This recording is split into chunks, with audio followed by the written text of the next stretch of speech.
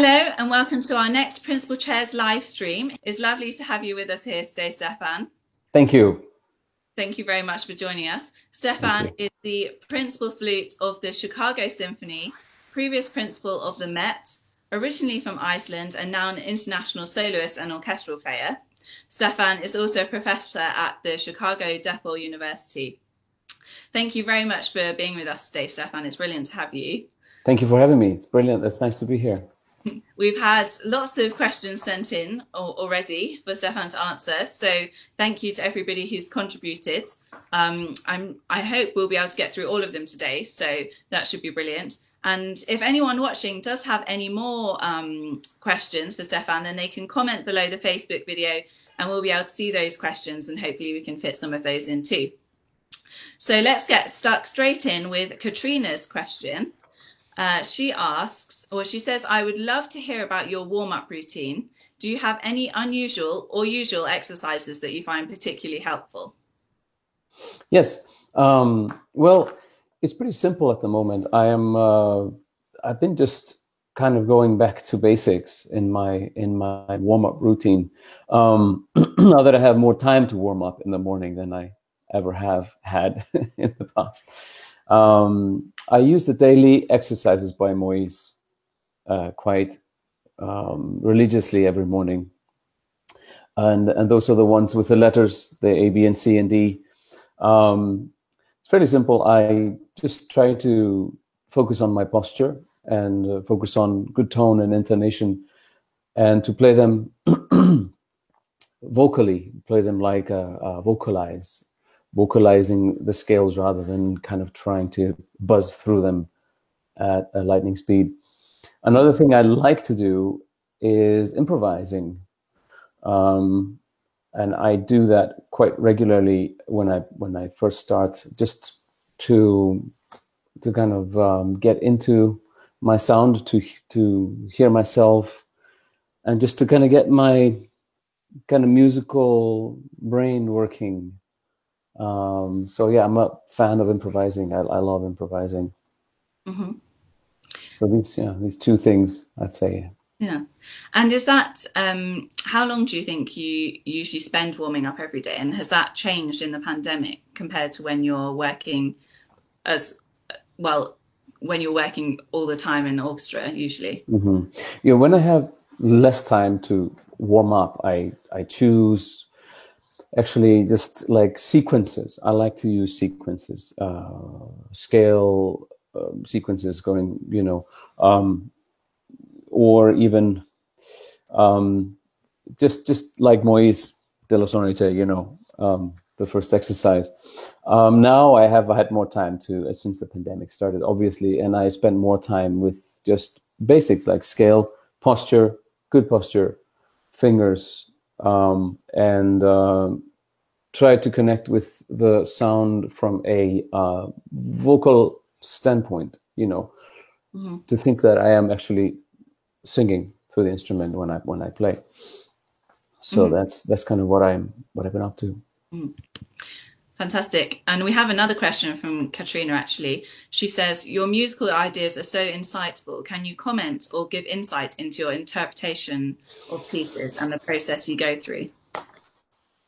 Yeah, I mean, I I tried to understand the music from the uh, perspective of, of the composer um, and from the style and the historical period that it was written in. Mm-hmm that's that's what I try to um, understand, and um, I try to approach it uh, from from the sort of, as I said, perspective of of the composer, and to um, get into the composer's language, mm-hmm. because mm-hmm. you know every if, everyone has their own language when they when they compose you know. And i feel it when i have imp- improvised that you know the more i improvise the kind of more i feel like i have my own style maybe you know i have my own things that i like to do. And composers are the same way. They like they have idiosync- idiosyncratic ways. Like you could say you know mozart and bach and uh, anyone prokofiev idiosyncratic ways that they express themselves in. So I like to get in touch with that when I when I learn a piece or when I study a piece. Another aspect that I have sort of try I've actually come to realize. Uh, recently, I was reading the Quantz um, book, Mm-hmm. you know, how to play the flute, um, and it's an uh, one sentence just popped right out at me, which says, you know, if it comes from the heart, it will reach the heart. Mm. So that's another thing I try to uh, do when I perform is to to stay true and authentic to the music, but also come from a uh, a space um, of the heart Mhm. connection, heart connection with the music, Mm. and um, to uh, play from from that uh, uh, perspective. And can I ask, um, when you're sort of developing your understanding of the language of each individual composer, like Bach or Mozart, like you suggested, do you think you've come to that understanding of the, their language through years of playing their pieces or also through listening to their pieces? And is there a way that you think you potentially sort of young players or students can try and get more into the world of these individuals? Yeah, I think that uh, you know I now have uh, a lot of experience of playing these composers, and uh, experience is really what it's all about. And the more experience you have in playing the music, the more you understand it. Students, you know, they are gaining experience. So my advice is try to really study the music in depth from let's say you're working on a mozart concerto just to try to understand it from a compositional standpoint you know understand the way it's written understand the harmony understand what the other instruments are doing you know and at the same time listen to you know other pieces like so for say for example like, you know the concertos were written at the same time as most of the operas. Although the concertos date, he hadn't written his major operas when he wrote the flute concertos. It's in- interesting. Um, but as a student, just try to listen as much as you can, and also um, listen to yourself. You know, listen to what you are doing. You see. Mhm. So it's a very it's a it's a both an intellectual process and also a, a kind of an inward process to learn music. Mm. You learn it from a perspective of style and the, the, the style of the music, the period of time, and but also from a perspective of what you are saying, what you are saying with the music. So um, that th- these twofold things work together Mhm. to create comprehensive, you know, the performance. Yeah. performance. Fantastic. Um, a question now from Maria. She asks, with so many flute companies out there, how did you decide on your equipment? Do you change for chamber settings and orchestral performance? Do you change your head joints frequently or do you stay the same? I've stayed exactly the same flute and head joint for mm, 13, 14 years now, and I have not changed at all. I have tried different head joints out of curiosity, but I always come back to my own Mhm. setup.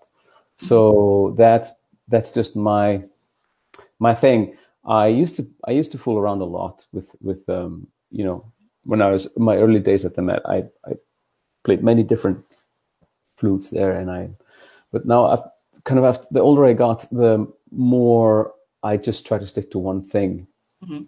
and and it gives me a certain satisfaction. Uh, like the the Emmanuel flute, I play um, a flute made by Manuel Arista, who lives in Boston, Mhm. who is a brilliant flute maker and uh, a great craftsman. Um, and I, I just love the sound of his flutes. Um, with other flute makers, there's it's- there's a lot out there. You know, I mean, you know, um, I just prefer the sound of this one. So Mhm. that's basically it. So, which were the flutes that you swapped between when you were in the Met? Um, well, I started off on altus. hmm That was my flute for for many years, and I I, I like their instruments very much. And um, yeah, those those were the those, that was my my flute of choice before I found the Emmanuel. Um, so yeah, I, I you know I think that the flutes make up about five percent of what we do. Hmm The the other ninety five percent is just hard work. hmm hard work of the students or of, of our behalf. Mhm. So fi- the, the flute itself, you know, the main thing is that it's reliable mechanically hmm and and that it's made well. You know, the the keys, the mechanism, all the moving parts are made really well. That's the main thing. And did you could you describe the difference in sound between playing on the altus versus the arista? You know, I I can't really. Because it's I have a certain you know this my sound is is very much just in my head. And you know if I played an alto flute or an arista flute for you right now you maybe wouldn't be able to tell Mhm. but there's a certain way what I'm looking for a certain nuance it's it's really in my head you know my sound is really in my head and it's in our heads always. It starts in here and then it comes out here. Yeah. so i can't really describe the, the differences in sound. I mean i just came to a point where i where i wanted something else and i was looking for i don't know it was mostly for my hands Okay.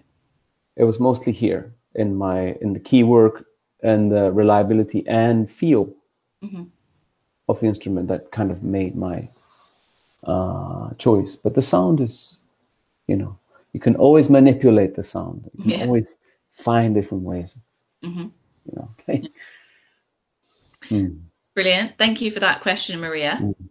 Um, John says, I loved your first album. Can we expect any future recordings from you? Um, I had nothing planned, but I want to make another recording. Mhm. I really do. Um, I have once we're out of the this isolation period. I I hope to start to you Mhm. know want to do something else. I mean, do, do do a recording somewhere. I don't know. I don't know when or where. Yeah. Have you any ideas for, are there any pieces that you'd really love to record? Yeah, I mean, I want to play the Bach sonatas. Mhm. I really want to record them, and uh, I've just I, I love Bach, and I I love um, you know to get deeper into his music and uh, understand his music, and um, so yeah, I would like to I would like to do that next. So we'll see. I'll let you know. And do, do you ever play um, on a Baroque flute or any period instruments, or do you always stick to the modern instrument when playing Bach? I've, I've never played a baroque flute. No, I've never tried. I, I have great admiration for for the sound and, and people that do play them. Um, no, I've never done that. I used to play a Louis Lot flute when I was um, younger. I have, um, and that was it was a flute made in 1886, and uh, it was a beautiful silver flute. Um, it was not tuned or anything. and It had the original lip plate and everything, and it had, it had a tremendous effect on me. I think that it that sound, particularly in its unadulterated state, really kind of opened my ears to, you know, the way silver flutes were, did sound and the way people used to play.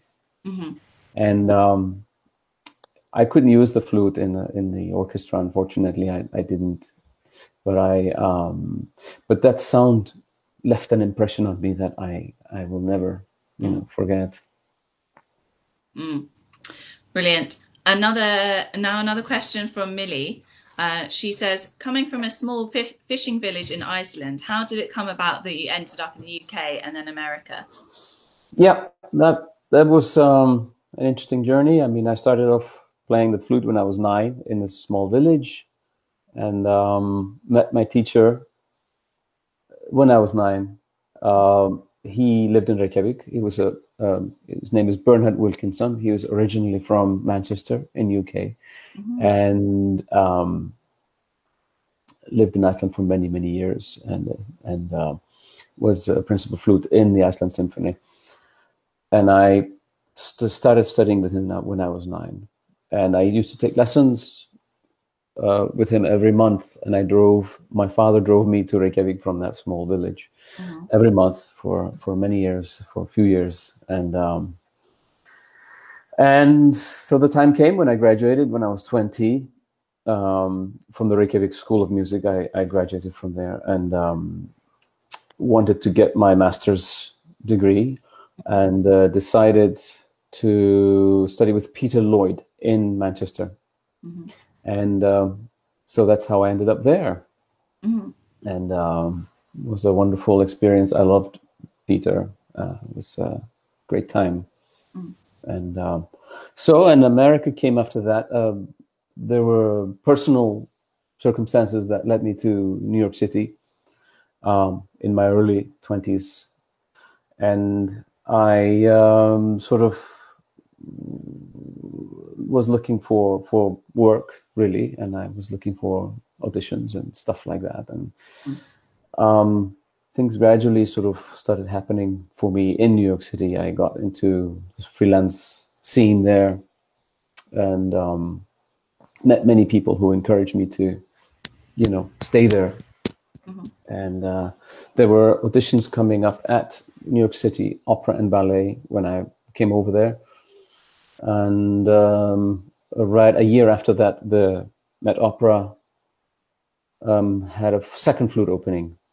So I took the New York City Ballet and opera auditions, and then right after that, I took the uh, Met Opera audition, and was first uh, second flute and piccolo at the Met 2004. Uh-huh. My first job. Yes. Brilliant. Actually, I have another question. What drew you to um, continue your studies in Manchester? Um, well, I, I had met Peter Lloyd when I was a teenager in some some uh, summer schools mm-hmm. in England, and uh, he was just such an, a wonderful teacher and, and a wonderful man, and and he we kind of kept in touch after I after I met him, and, and he encouraged me to come study with him. So I that was kind of a natural progression um, that I went to him. Mm-hmm. So um, I uh, I was very um, I, I, loved his his his way of teaching, and I learned learned so much from him, as well as my my first teacher Bernhard, who was my my biggest musical influences and uh, teachers. Mm-hmm. Mm. I think I heard in another of your online interviews about that it was quite a commitment for you driving across Iceland for these flute lessons. Is that right? It was quite far. Mm, yes, it's about nine hours from the village I grew up in and to, to Reykjavik. My father was was very committed to my mm. getting this education because there, there was no real uh, school where I grew up, uh, no real good teachers. So I, um, um, yeah, it was it was an amazing time. You know um, that my parents really sacrificed so much for my education and uh, to to do this for me. I uh, left a big impression on me also.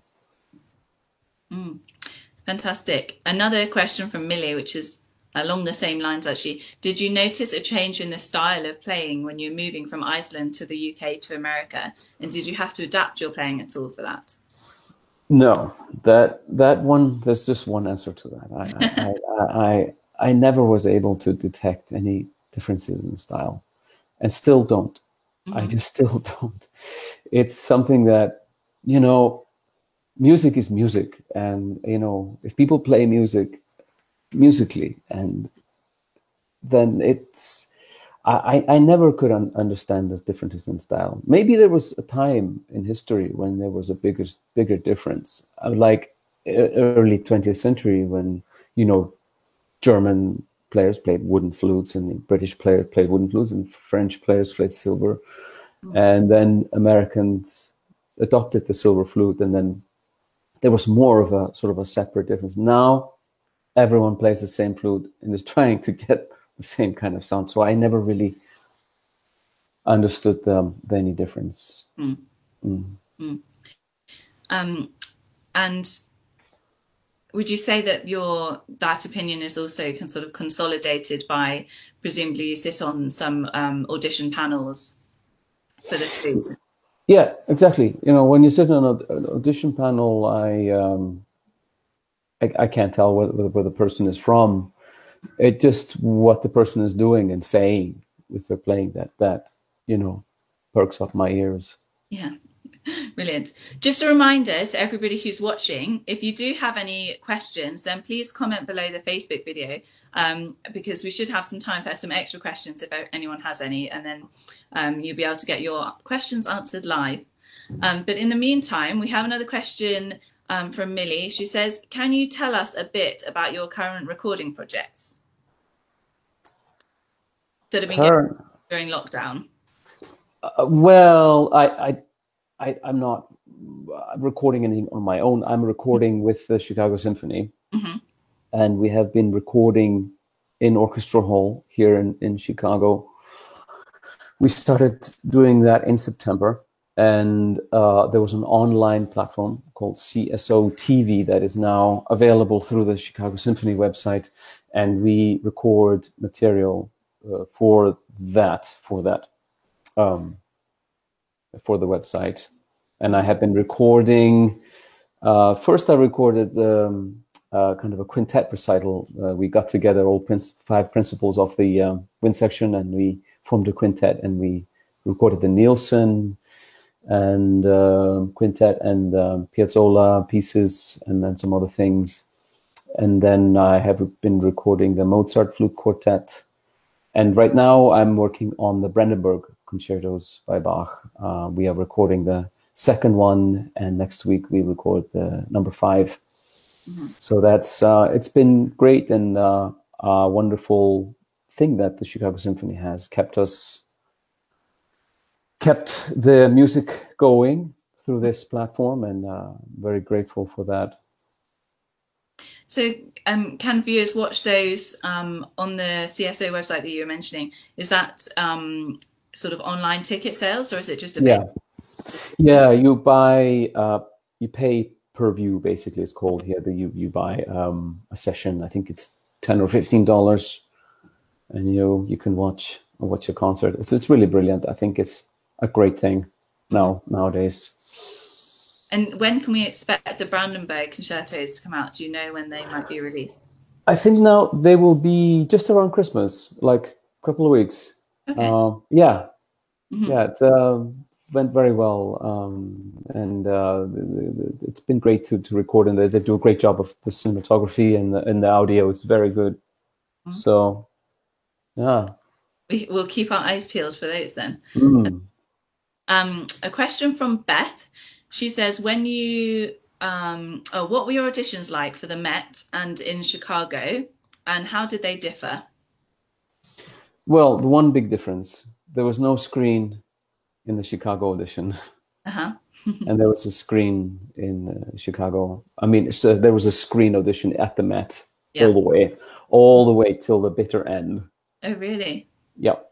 And um, I took two auditions at the Met. I my first one when I was second flute, when I was new to the orchestra, and then I auditioned again within the orchestra when the principal chair opened up mm-hmm. um, in 2008, and I had to go behind the screen again. so that was um, um, quite an amazing experience. Um, then Chicago was completely open, um, and it was a different feeling playing for people, you know, versus playing for just the the, the, the screen. I there's a certain greatness in having this screen round all the way, and I, I like that very much. It's uh the the Met.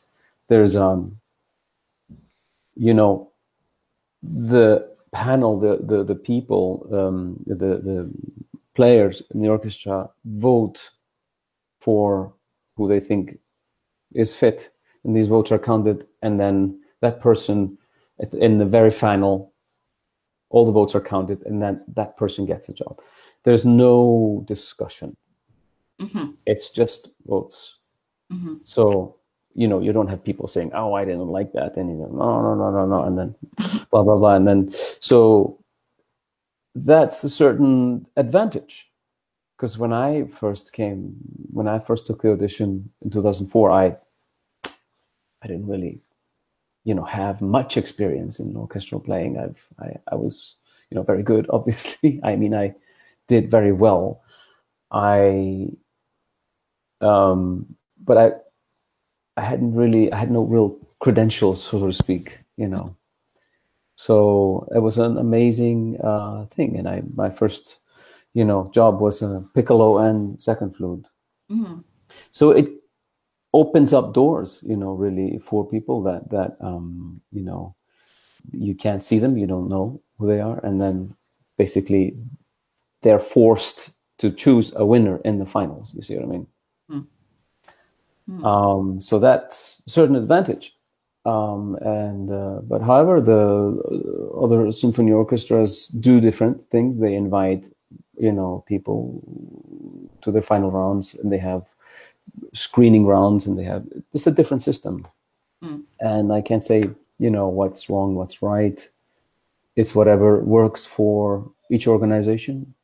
You know what i mean um Yeah. Were there lots of rounds for both of the auditions with the different orchestras?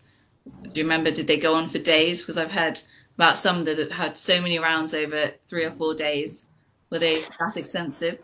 the met audition had the most rounds you know i had took about a week um i played my pre preliminary round on a monday i think then i played the, the semi-final on a wednesday and i think uh, finals were on a friday or something like that so it was it was a lot of people so a lot of applicants Mhm. and um Mm. yeah And it's interesting that you're talking about going from a second flute and piccolo chair to a principal chair. Do you feel that you um, adapted your playing for that, or do you feel they were actually in more similar roles?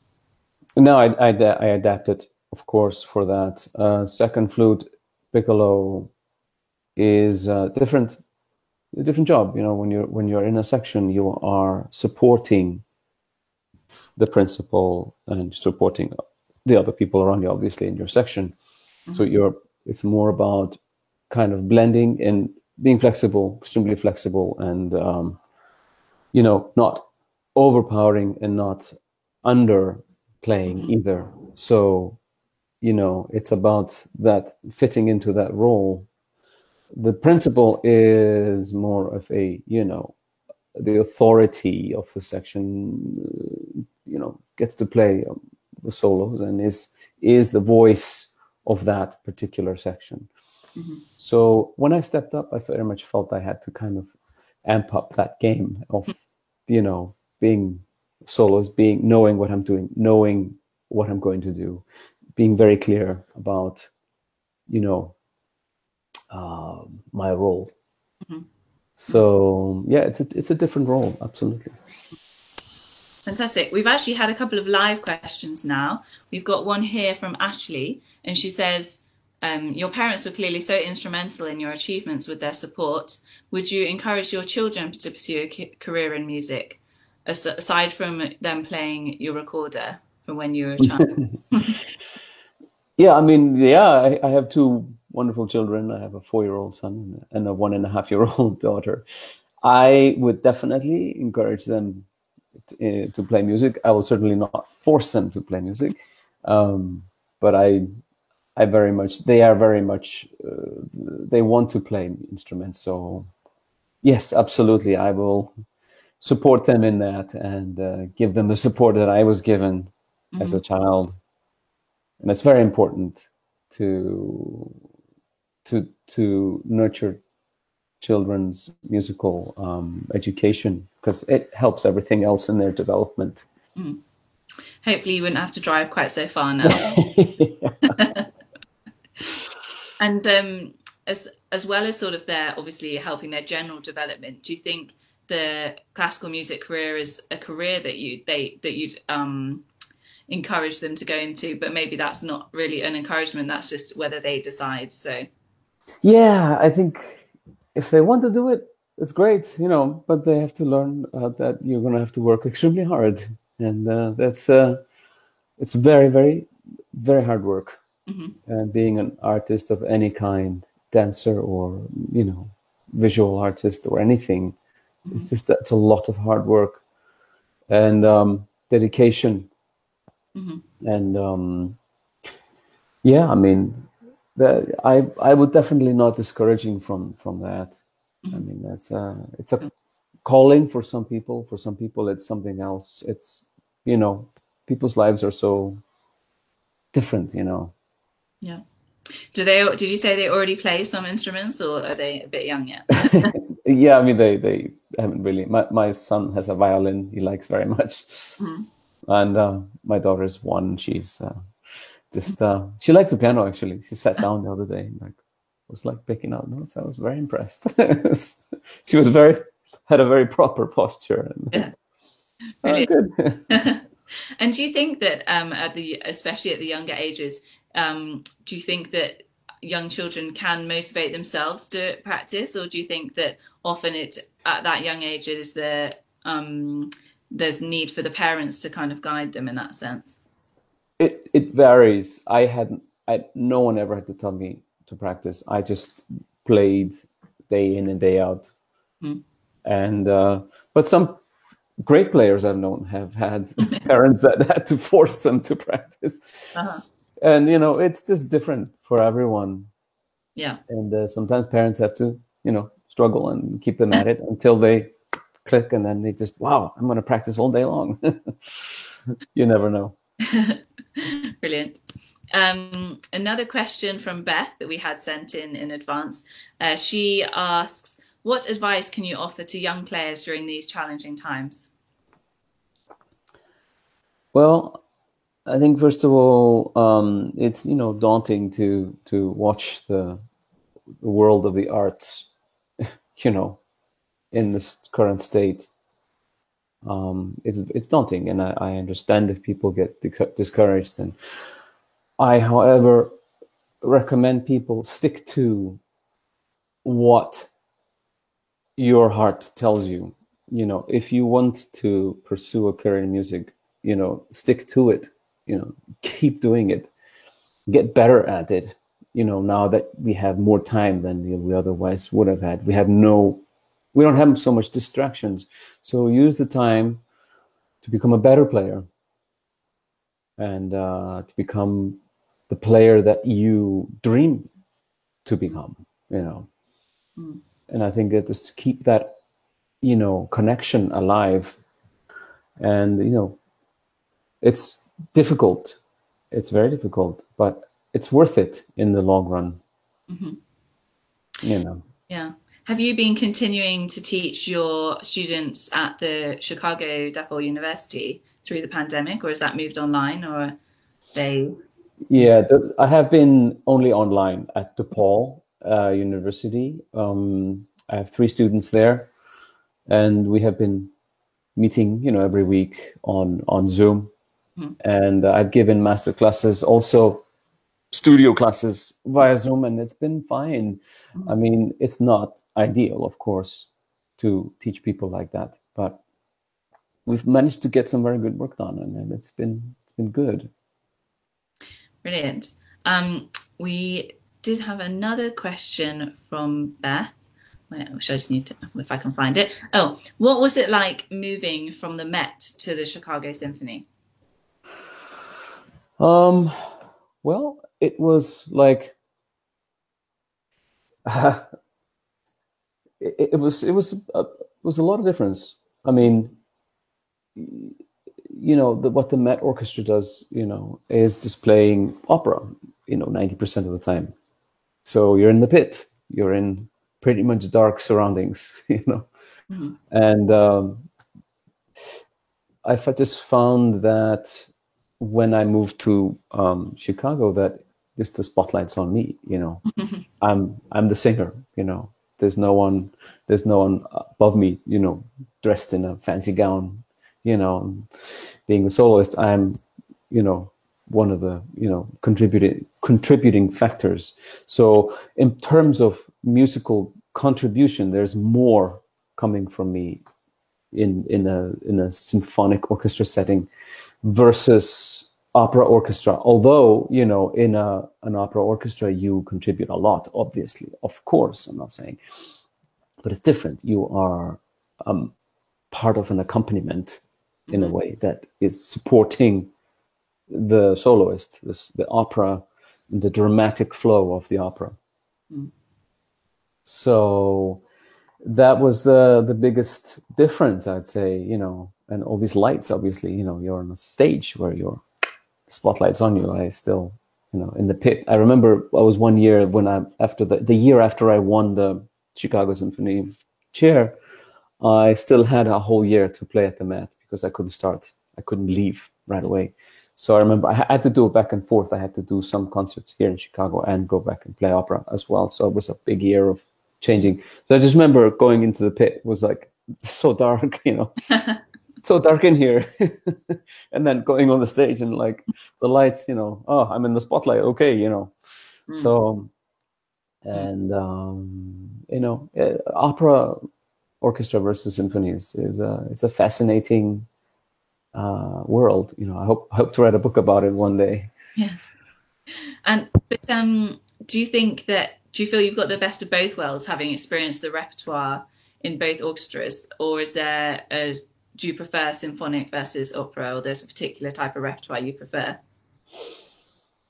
I I am extremely grateful that I got the opportunity to play opera and to learn operas, and uh, because that that repertoire has is so rich.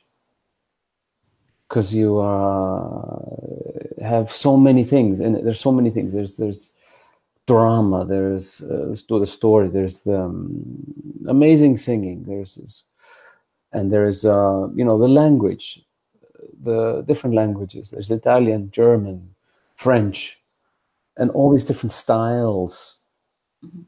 and you learn so much about that when you when you play this kind of music handel operas you know it was an amazing um, education mm. and also just witness singers witness how they work and express themselves mm. and i love the symphonic repertoire i mean i'm extremely grateful now that i get to play symph- symphonies and this all the stuff that i never got to play at the met like you know the big the big stuff and uh, i love i love both worlds and i'm just very fortunate that I, I have had the opportunity to to do both.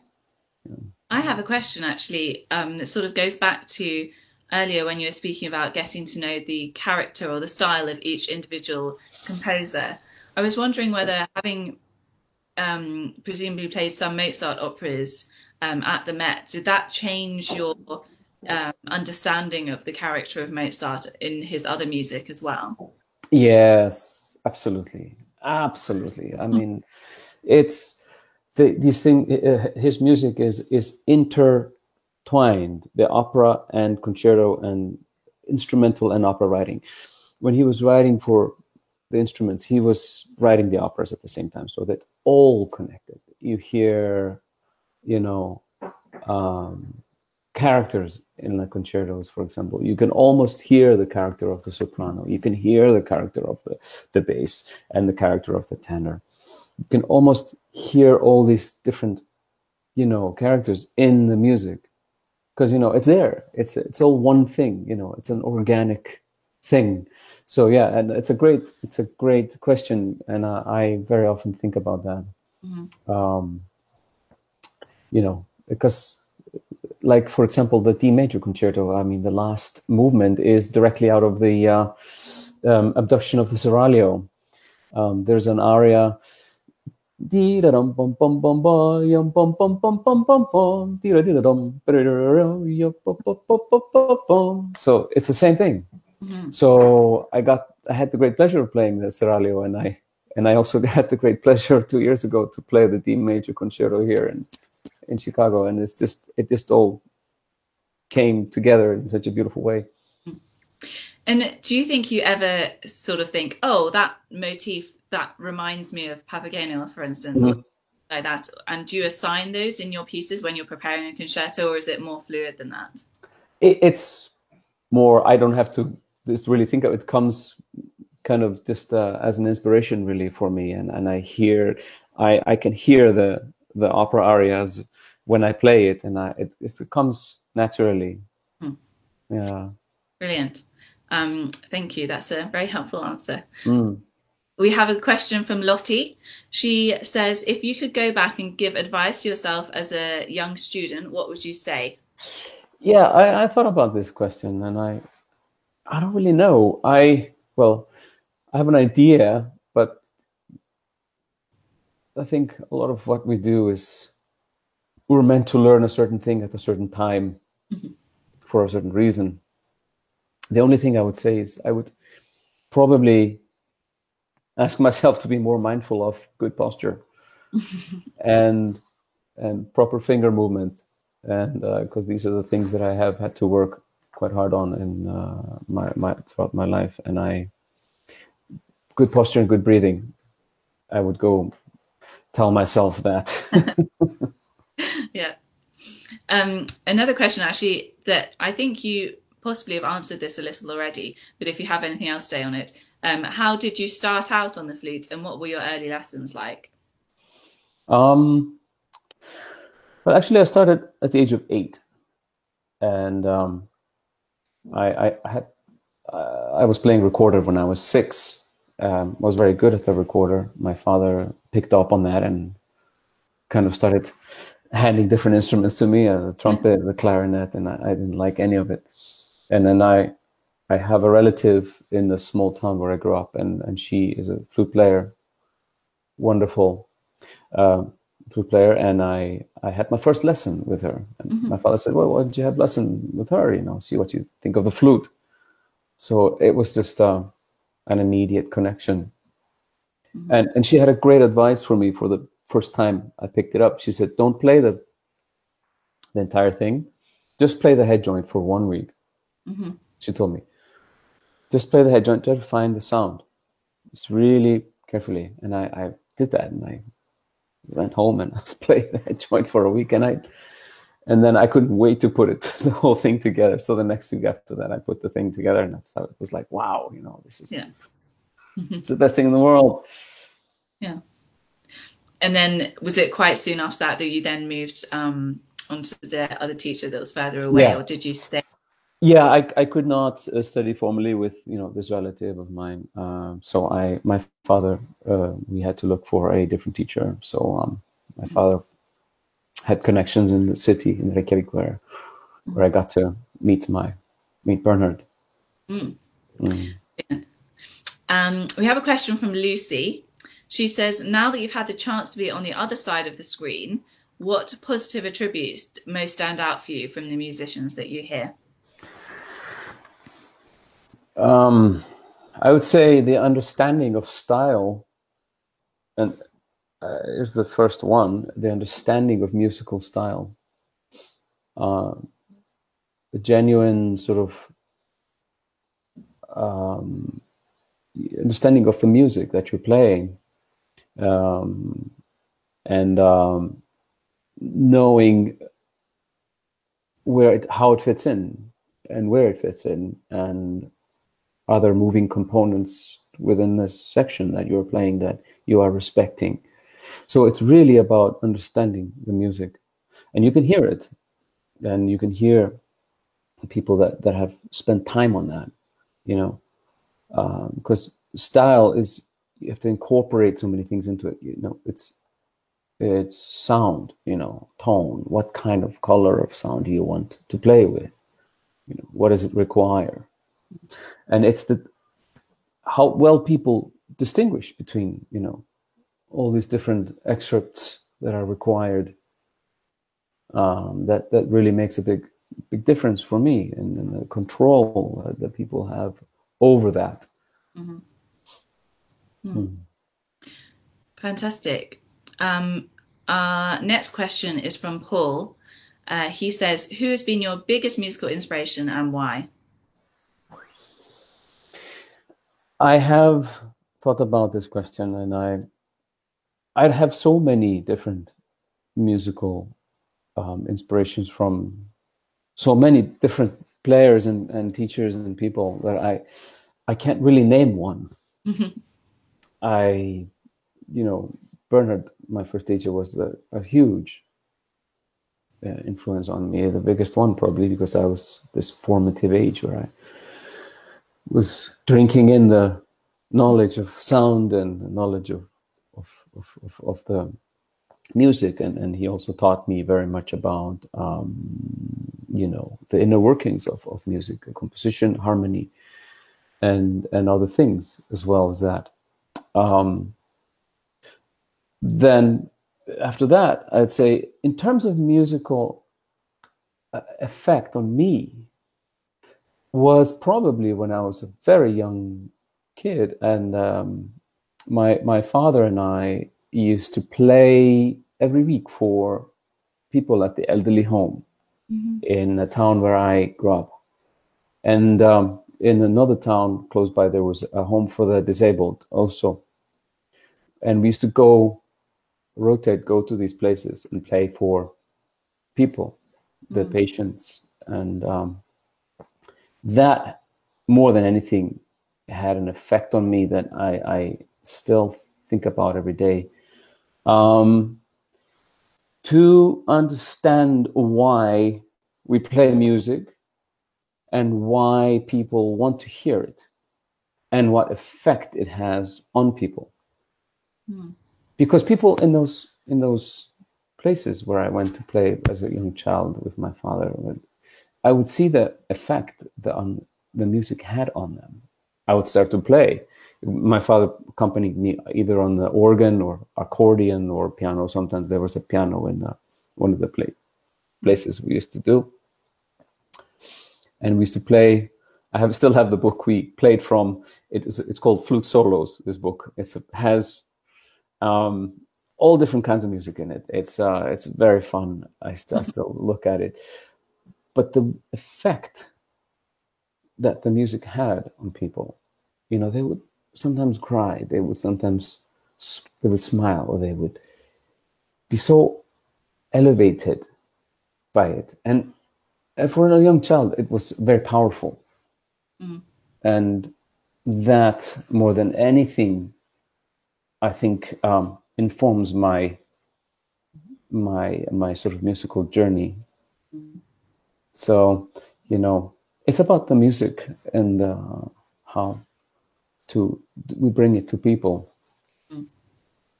that's brilliant that you had that experience at such a young age and sort of realized how much of an effect your playing could have on people. Yeah yes yes exactly. And yeah. uh, sort of the question why we're doing it and mm. why we need it? Why what is it for? You know what i mean? And i, I like to talk to people um, talk to students about that because you know it can get wrapped up in so much just bureaucracy about music. It can be so sterile and dry mm-hmm. you know um, uh, we have to get away from that. Find the essence of it. Mm. of why why we're doing what we're doing you know I mean? Yeah. We've just had another live question actually which is sort of along similar lines ashley asks what should you do when you understand the essence and meaning behind the music, but you can't yet convey it as a performer? Is it time, musical study, or reading? What should one do when you understand? Uh huh, yes. Well, you know, learn a piece from memory, I would say. Try to memorize music as much as you can um, I find that to be a very good tool, important tool, and I did a lot of that in in my sort of college years and after right after college, I tried to memorize music because that it's it's great. It's good to use the music, fine, of course. But once you memorize it, it it takes seat in a different place in your being, Mhm. and you start to really listen, and you start to kind of analyze more closely with your ears what's going on, rather than you know just the visually looking at something and doing something is is um, sometimes can be a distraction and come get in the way of what you want to understand. So it's just a lot of hard work. I'm I'm sorry to tell you, but it's like that to understand music, great music, is takes time and experience. And the more you play, the more you perform, the better you get at it. The more you understand it, mm-hmm. and I, I that's my been my experience. Now I play, you know, for example, the Bach Partita in A minor. I I was petrified of this piece for so many years. I didn't know how to play it, but now I've been playing it more and more every year, and I feel like I understand it more and more every year. You Mm. see, so it just a being patient, being patient with the process, learning the piece, leaving it a little bit, and and then coming back to it. But memorization is a very important part of it. Also, it's very important Mm. to um, to learn how to convey the music. Can I ask, do you have any um, processes that you, you used to use or do use for memorization? Um, is sort of a structural breakdown, or do you is it mostly from repetition and understanding? Um, my kind of um, process of memorization is it's interesting with the flute because we can't see our fingers and see anything. When pianists and violinists have this advantage, they can see what they're doing, or even you know, I don't know, clarinetists or oboists. But we have just this, you know, we're looking at, you know. So I like to just kind of experiment a little bit with it. I sometimes just use photographic memory, just completely visualize the page. At other times, it's more just patterns of the fingers um, and just the kind of um, feeling in your hands almost. Hmm tactile you know what the what your fingers are doing at, at a certain point. It- it's a complicated thing i can't really explain it. Memorization is a fascinating you know subject. But i think um, learning in smaller uh, bits is better you know so i don't try to you know memorize an entire thing. I try to focus on smaller sections. Mhm. And practice those sections and then go move on from that and then practice the next section and then Yeah. combine them then you know there's, there's a lot of things you can do and um, you know actors go through this a lot and, and they have uh, different techniques to do it there's uh there's a lot of repetition obviously involved a lot of repetition Mm. And actually, going back to Ashley's question um, about understanding the music, she mentioned um, about reading, whether that's part of it. And you mentioned earlier about your reading of um, Quantz on playing the flute.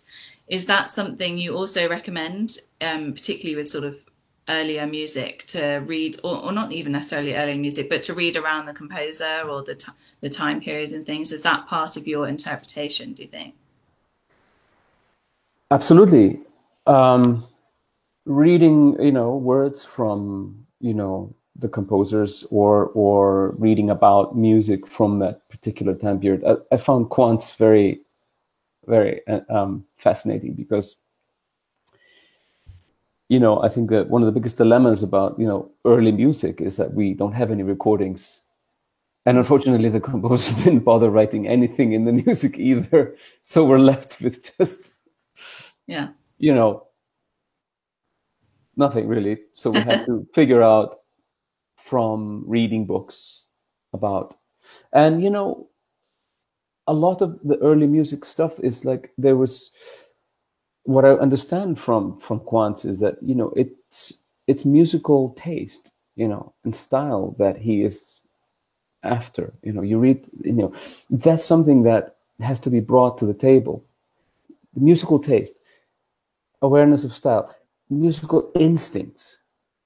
You know, like playing Bach, you have to use, you know, you have to go to the very core of your being of musical instincts to learn, to understand the music and play from that, not just from some, you know, scholar that says, no, you can't do this, you have to do that. And there's this do's and don'ts. Mm-hmm. I recommend more going using the musical instincts in in that in that respect.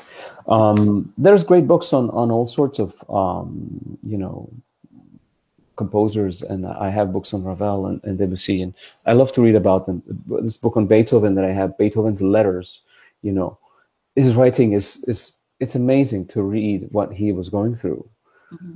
and uh, when he was writing his music in his compromised state, or Mozart's letters for that matter. You know, mm-hmm. read those. It's hilarious. It's the most amazing uh, stuff that, that that you that you that you can you can find and understand the music from that standpoint. You know what I mean? Brilliant. Thank you for that question, Ashley. I think we've got time for one last question. Yeah. We had one sent in from Arthur, and he asks Are there any concertos that you haven't yet had the opportunity to perform that you'd like to play in the future? Yeah, it's like, you know, I've played most of them, and I, um, uh, one concerto that I, I heard when I was young, I heard actually in Iceland, um, is uh, Rautavaara, Dances with the Wind. It's a it's a beautiful concerto that I would like to play at some point. Mm. I've always, I'm always, I love that piece. Another concerto is Reinecke. I've never played the Reinecke concerto. I mm-hmm. hope I'll do that someday. But I'm always um, curious to see what is being written now. Um, and there's a composer I just discovered, uh, Nicolas Bacri. It's a French composer. Um, has written he wrote a, a bass clarinet concerto that I played last season, and I absolutely loved the music. And I, I got to know him, and, and he writes the most wonderful music. And he has written a sonata for flute, and he's just about to send me the PDF of it. I'm very excited mm-hmm. to to play it. Fantastic! It sounds like you've played such a variety of repertoire over your career that there. It's good to hear there are still new pieces for you that are still left to to have the chance to play. So hopefully you'll get the chance to play those at some point. Yes, I hope so. There's much there's so much music in the world that I'd like to play. I mean, there's just endless amount. Mm. You know. yeah. well, thank you so much, Stefan. thank you, Camilla. Thank you. And thank you to everybody who sent in questions. We've had a really fantastic mix of questions. Um, and I feel we've got it quite in depth into almost music philosophy in some ways. So it's been brilliant to talk to you. Um, thank you, everybody who's watching, and we'll see you again soon. Thank you so much.